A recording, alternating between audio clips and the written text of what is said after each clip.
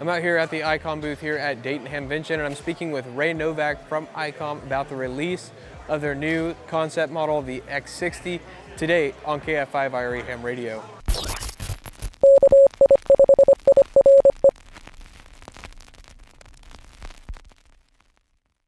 Hi, I'm Ray Novak, N9JA, ICOM America Senior Sales Manager for Amateur Aviation Marine Products. All right, so what are we standing in front of right now? Right now we're standing in front of what we call the mystery radio. The mystery radio is a bunch of bits and pieces of a radio.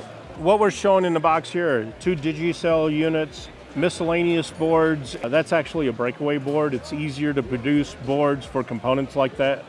Then you have the antenna switchboard, connector board, logic board, PA board, the RF board, antenna tuner board, the main board, and the filter board. So the riddle that we have is in this box are bits and pieces of the radio that we'll introduce at the Tokyo Ham Fair. But not all the bits and pieces in the radio are in this box. Can you tell us what it's going to be? What we're getting from them is, is a lot of excitement about it because this is the first time anybody's ever really done anything like this, showing components, We've had a lot of competitors come by and take a look at it. Some of them say, we know what you got coming. Others are going, well, it's interesting. Well, at this particular Ham Fest that we're introducing is the largest one in the United States. This will then be going to Friedrichshafen, Germany at the end of, of June.